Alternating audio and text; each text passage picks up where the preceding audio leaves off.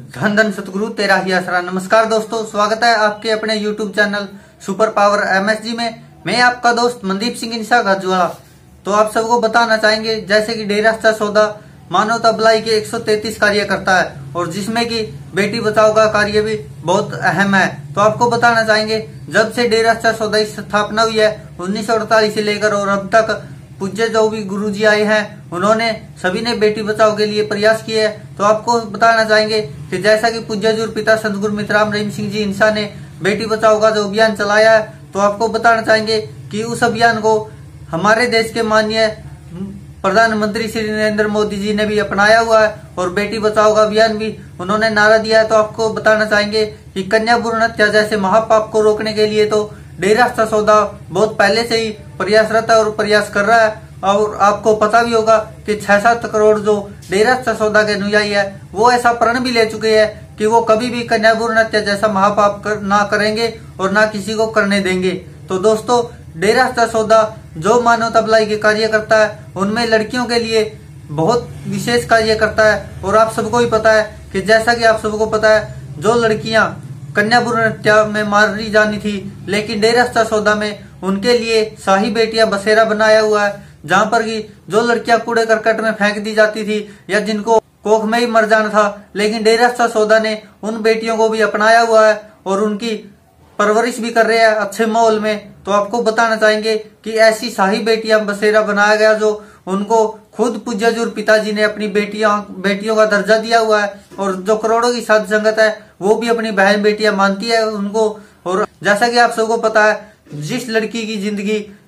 ऐसे गुजर रही हो, जिसको कि दो समय का खाना खाने के लिए भी जिसम फिरोसी का धंधा करना पड़ा है, वो चाहे किसी भी मजबूरी में या किसी ने अपने बेटी को बेच दिया, वो माँ बाप जो कि जिनको की कोठे पर धंधा करना पड़ता है, ऐसी लड़कियों को पूज्यजुर पिताजी की पावन प्रेरणा पर डेरा सौदा के अनुयायी अपनी बहन बनाकर डेरा सौदा में लेकर आए और पूज्यजुर पिताजी ने उन्हें अपनी बेटियों का दर्जा दिया और उनका नाम शुभ देवी रखा गया। तो आपको बताना चाहते हैं, उस वेश्या के लिए पूज्य गुरु जी खुद खुदा और माँ बाप सब कुछ है, क्योंकि भगवान ने जो नहीं भगवान जो उनके लिए नहीं कर सकते थे, लेकिन पूज्य पिताजी ने उनके लिए कर दिखाया, क्योंकि उनका तो एक सपना था कि वो भी किसी की धर्म पत्नी बनेगी, किसी घर में जाएँगी, लेकिन एक कोठे पर जो रहने वाली वेश्या, वो किसी कोठे की रौनक थी। लेकिन पूज्यजुर पिताजी ने जब से उनको अपनाया, उनका इलाज करवाया और उनकी शादी भी करवाई गई तो वो उस लड़की के लिए इससे बड़ा और क्या होगा कि पूज्यजुर पिताजी ने उन्हें एक कोठे की रौनक से उठाकर सीधा किसी घर की लक्ष्मी बना दिया और जिनको की खुद खुदा, जो पूज्यजुर पिताजी, जिनको की करोड़ों लोग अपना खुदा मानते हैं। उसकी बेटी का दर्जा मिला, इससे ज़्यादा और क्या होगा? तो आपको बताना चाहते हैं कि डेरा सौदा ने तो बहुत पहले से ही बेटी बचाओ अभियान को शुरू किया हुआ है, लेकिन सरकार ने भी अपना लिया अब। तो बहुत अच्छी बात है। दोस्तों, वैसे तो डेरा सौदा मानव दबलाई के कार्य और भी बहुत करता है, लेकिन जो आपको भी पता है कि एम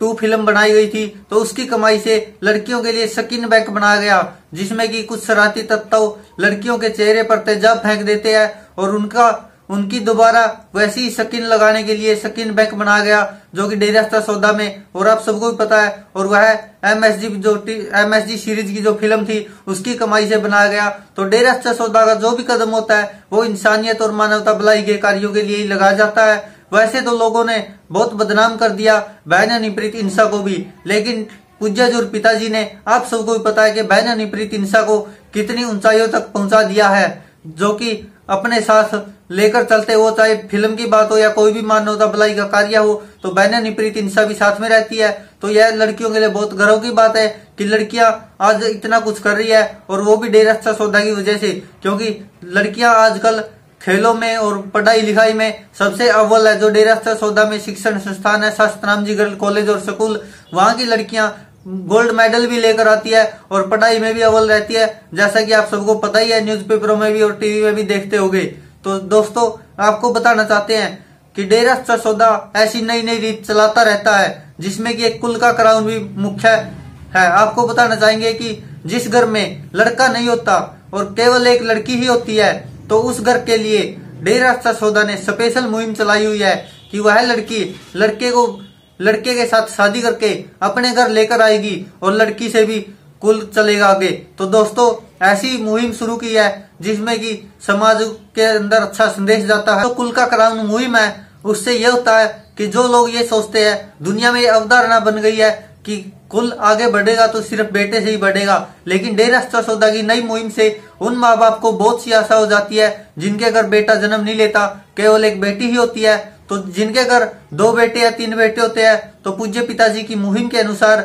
वो एक लड़का उस लड़की के साथ उसी के घर रहता है और लड़की से ही उस कुल का आगे नाम चलता है और लड़की से ही कुल चलता है। तो दोस्तों ऐसी ऐसी मुहिम शुरू की है डेरा सौदा ने कि जिनको दुनिया भी सराहना करती है कि हाँ वास्तव में डेरा सौदा ऐसे कार्य कर रहा है। और आप सबको बताना चाहेंगे कि डेरा सौदा जो मानवता भलाई के कार्य करता है, वो बेमिसाल है। दुनिया में आज तक ऐसी कोई संस्था नहीं जो डेरा सौदा जितने, मानवता भलाई के और इंसानियत के कार्य करती हो। तो दोस्तों, आप सबसे निवेदन है, कृपया करके इस वीडियो को ज़्यादा से ज़्यादा लाइक और शेयर ज़रूर करें जी। धन धन सतगुरु, तेरा ही आसरा। मिलते हैं ऐसी ही अगली वीडियो में।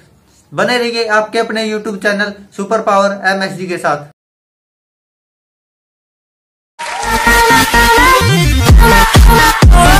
और आपको यह वीडियो एंड में भी मिल जाएगी,